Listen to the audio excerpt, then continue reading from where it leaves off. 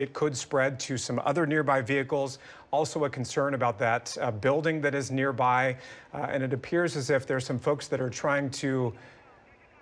All right, it, it looks like there's some type of weapon there. We're going to break away from that shot there. Not sure who that person is, but obviously a very uh, scary and fluid situation.